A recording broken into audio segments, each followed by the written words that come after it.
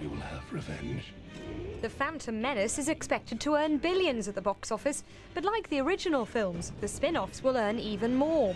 We haven't much time. Tales of Jedi Knights battling the evil Empire earned a fortune for the makers of Star Wars and gave birth to mass market merchandising. The demand for toy figures like this was unprecedented, but this time it's predicted the new film will sell even more toys than its predecessors. But whereas fans in the US can buy a wide range of figures, only a limited number of toys went on sale across the UK today. Shops are being prevented from selling more by the film's makers. I'm looking for the new Star Wars lightsaber. Have you got it? I haven't, I'm afraid. We're not actually allowed, to, they're not on sale until June the 18th.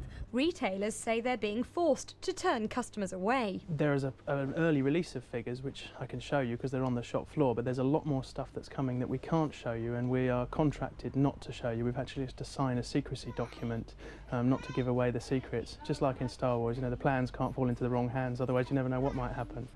Manufacturers say they'll do their best to meet demand for the toys, but seasoned observers believe there may be shortages, and once again, consumers here will lose out. The children and parents know all about this product. They've got to have something to satisfy their demand. But come July, when the film eventually opens in the UK, they're not going to be guaranteed any product. Perhaps it's going to be another Furby or another Teletubbies, because America, in this instance, will get first rights to all Star Wars products. And evidence that traders in America are already cashing in ahead of the UK launch.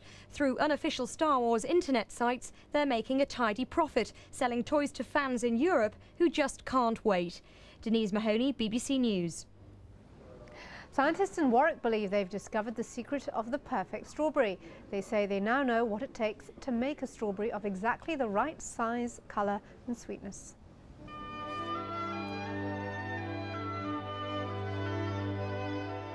There's nothing more divine than the summer strawberry, but the rest of the year it often doesn't come up to scratch.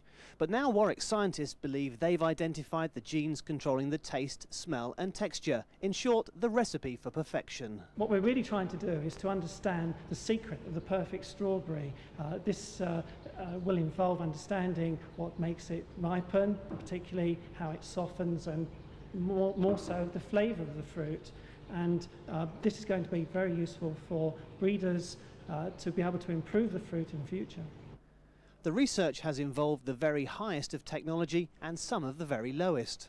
So in the lab we take the strawberries and we grind them up in liquid nitrogen. Now this is extremely cold and the fruit becomes very brittle um, and uh, we're able to grind the fruits into a fine powder which helps us to extract the genetic material. So that was the low tech. This is the high tech where we separate the DNA and look at it. And this is an example of what we find.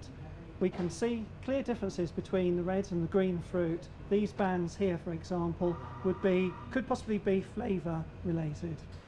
If this work does bear fruit, the scientists could create the perfect strawberry in the lab, but they won't. Genetic modification is, um, is a relatively new procedure, but plant breeding has gone on, uh, in the case of strawberry, for the last two or three centuries. And what we're doing is help the breeder speed up that process by, um, by helping him select the best parents to make those crosses. So the strawberry of the future, created in the Midlands, may never need sugar and cream again. Time for a reminder of our top stories this morning. Managers at